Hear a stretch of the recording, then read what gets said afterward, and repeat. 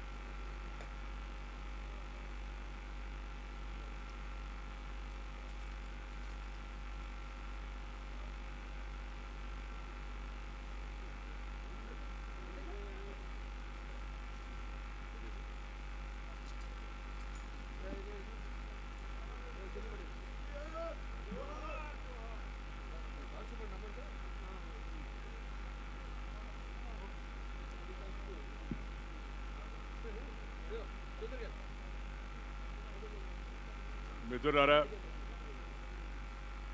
ఈరోజు చాలా ప్రత్యేకమైన రోజు.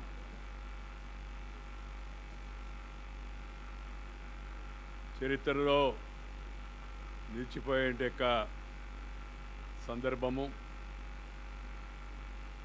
విశ్వవిఖ్యాత నట సార్వభౌముడిగా పేరుగాంచి తెలుగు తనానికి నిండుతనాన్ని తీసుకొచ్చి తెలుగు తేజాన్ని ప్రపంచమంతా కూడా చాటి చెప్పి తెలుగు వారికి ఒక గుర్తింపు తెచ్చి తెలుగు పౌరుషాన్ని దేశ రాజకీయ ముఖచిత్రంలో వెలిగించి తాను ఒక వెలుగు వెలిగి ఆ వెలుగు ద్వారా ప్రజలకు అనేక రకాలైన యొక్క సందేశాలు అదేవిధంగా మేలు చేసిన యొక్క స్వర్గీయ నందమూరి తారక రామారావు గారి యొక్క సినిమా. ఏదైతే ఉందో వారి జీవిత చరిత్రను ప్రతిబింబిస్తూ చేపట్టిన సినిమా ఈరోజు మనం క్లాప్ కొట్టి ప్రారంభించుకుంటున్నాం. రాష్ట్రపతులు ఉపరాష్ట్రపతులు ఇలాంటి కార్యక్రమాలకి మామూలుగా రారు. నేను తప్పనిసరిగా ఆ నియమ నిబంధనలు ఎలా ఉన్నా తప్పనిసరిగా రావాలని ఎందుకు అనుకున్నానంటే శ్రీ స్వర్గీయ నందమూరి తారక రామారావు గారంటే నాకు వ్యక్తిగతంగా అభిమానం ఉంది వ్యక్తిగతంగా స్నేహం ఉంది. అలాగే ఆయన చేసిన ఏవైతే పనులు అవుతున్నాయో అవి చరిత్ర గుర్తుంచుకోదగినట్టు యొక్క పనులని చెప్పని నేను భావిస్తున్నాను.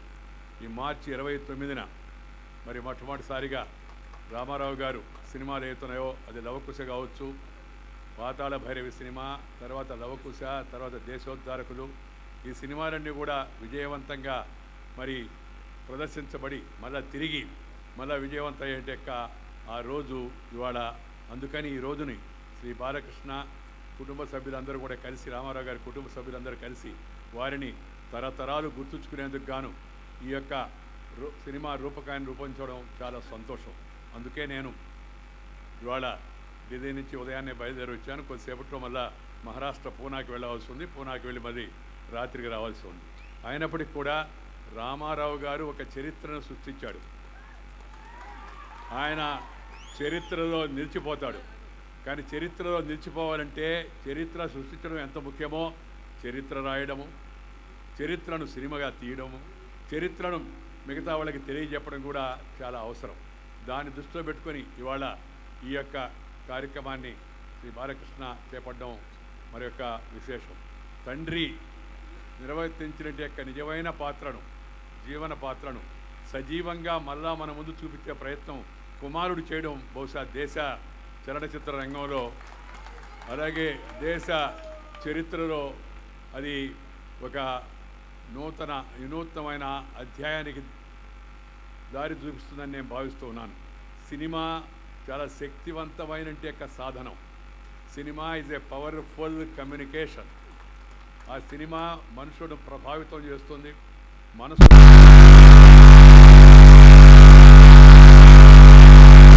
చేసేందుకు అవకాశం కల్పిస్తుంది. సమాజంలో మార్పులు తెచ్చేందుకు కూడా సినిమా ఉపయోగపడుతుంది. ఎలాంటి మార్పులైనా సరే. మంచి సినిమా అయితే మంచి మార్పులు చెడు సినిమా అయితే చెడు మార్పులు కూడా వస్తాయి. మనందరూ కూడా చూస్తూ ఉన్నాం. అలాంటి సినిమా సాధనాన్ని ఉపయోగించి శ్రీ తెలుగు చలనచిత్ర రంగంలో దక్షిణాదిన మన చరిత్రలో పోయినట్టు యొక్క మరి స్వర్గీయ నందమూరి తారక రామారావు గారి సినిమాను మళ్ళా చేపట్టడం చాలా సంతోషం. నాకు మనసులో ఎంతో సంతోషంగా ఉంది. శ్రీ బాలకృష్ణ నాకు ఈ విషయం చెప్పగానే నేను ఎక్కడ ఉన్నా ఎప్పుడున్నా ఎలా అయినా సరే అడ్జస్ట్ చేసుకొని తప్పనిసరిగా వస్తా అని చెప్పి చెప్పాను నేను. సరే పార్లమెంటు కూడా జరగడం లేదు. జరుగుతున్నా జరగడం లేదు మనందరం కూడా తెలిసిన విషయం అనుకో అది అది అది వేరే విషయం. ఏది ఏమైనా సరే ఇవాళ ఈ మంచి కార్యక్రమంలో పాల్గొనడం మనందరికి కూడా ఒక చక్కని అవకాశంగా నేను భావిస్తున్నా. రామారావు గారు నటనలో చరిత్ర సృష్టించాడు. రామారావు గారు రాజకీయంలో చరిత్ర సృష్టించాడు. రామారావు గారు తెలుగు భాషలో చరిత్ర సృష్టించాడు.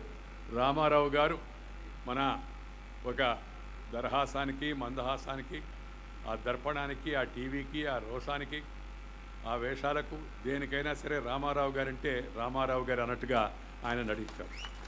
మనం చాలామంది మనలో మనం శ్రీకృష్ణుడు చూడలేదు. చూసే అవకాశం కూడా లేదనుకోండి.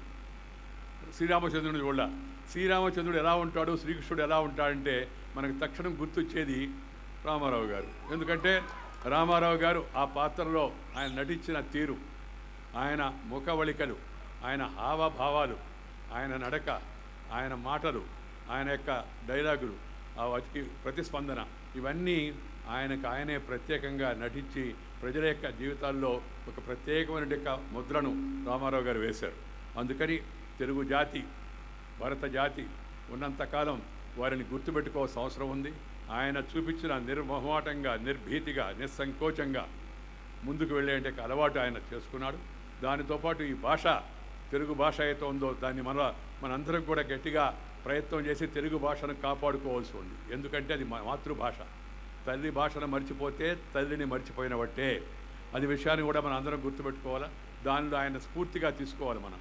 మన భాష ఎంతో మధురమైంది దాంట్లో ఎలాంటి పదాలు కావాలన్నా సరే ఎలాంటి సంఘటనకు సన్నివేశానికి కావాల్సిన యొక్క అతికిట్టిగా ఉండేట పదాలు కావాలంటే తెలుగులో మనకి మెండుగా నిండుగా మనందరం కూడా దొరుకుతాయి అందువలన దానికి మనం రామారావు గారి పట్ల నిజమైన నివాళి ఏంటంటే the real tribute to Ramarao's memory is తెలుగులో మాట్లాడాలి తెలుగును ప్రోత్సహించాలి. తెలుగు వాడినందుకు గర్వించే విధంగా మన వ్యక్తిగతంగా కూడా ప్రవర్తించాలి.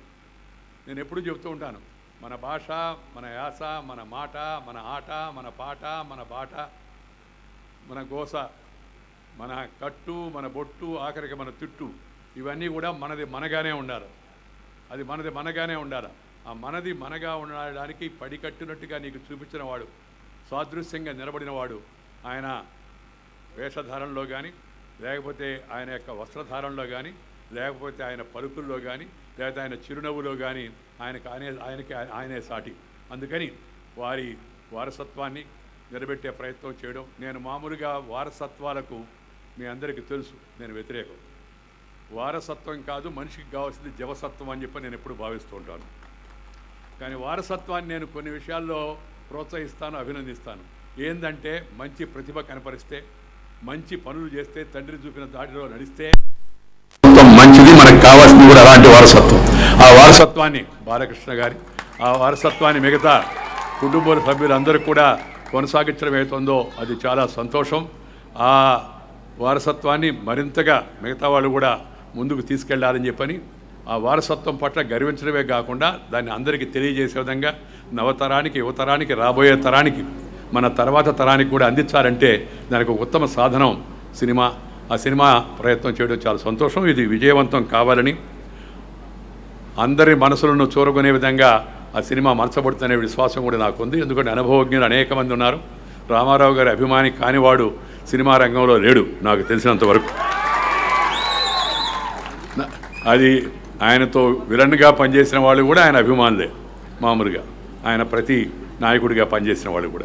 అందువలన అందరి సలహాలతో ఈ యొక్క సినిమా విజయవంతం కావాలని చెప్పని తేజ దర్శకుడు అదేవిధంగా మిగతా రాఘవేంద్ర గారు పెద్ద పెద్దవారు ఉన్నారు మనకి తెలుగు చలనచిత్ర రంగానికి. అలాగే బోయపాటి శ్రీను అలాగే ఇంకా అనేక మంది ఎవరైతే ఉన్నారో వాళ్ళందరూ కూడా కలిసి మంచిగా మన చరిత్ర గుర్తుపెట్టుకునే విధంగా రావాలి. సినిమా విజయవంతం కావడం కాదు. చరిత్ర గుర్తుంచుకునే విధంగా చరిత్రలో నిలిచిపోయే విధంగా రామారావు గారి సినిమా ఎలా నడిచి నిల- నిలిచిపోయాడో ఈ సినిమా కూడా చరిత్రలో నిలిచిపోయే విధంగా ఉండాలా? అది ఒక ఒక ఒక మ్యూజియంగా రామారావు గారు అంటే ఏంటంటే ఆ సినిమా చూస్తే కళ్ళకు కట్టినట్టుగా కనబడుతుంది ఆయన చూడని వాళ్ళకు కూడా.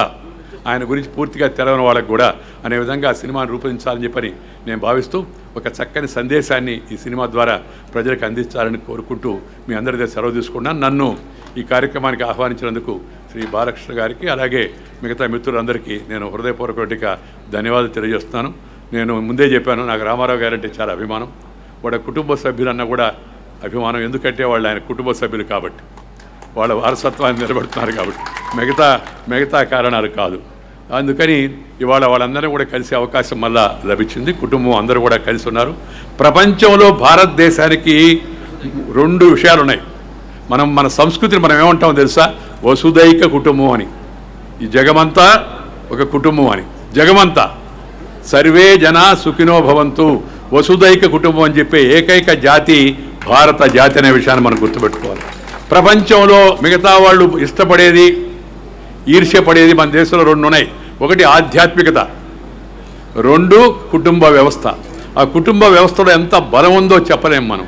ఆ అన్న తమ్ముడు అక్క చెల్లెలు బావ మరిది తమ్ముడు మనవడు మనవరాలు వాళ్ళందరినీ చూస్తూ ఉంటే వాళ్ళతో సమయం గడుపుతూ ఉంటే ఆ సంతోషం చెప్పనరివి కానీ అందుకని మనందరం కూడా కుటుంబ వ్యవస్థను రక్షించుకోవాలని రాబోయే రోజుల్లో మన భాషను కూడా పరిరక్షించుకోవాలని మీ అందరికి కూడా నేను సలహా ఇస్తూ ఈ కార్యక్రమంలో పాల్గొంటున్న వారందరికీ అభినందన తెలియజేస్తూ మీ దగ్గర సెలవు తీసుకుని నమస్కారం.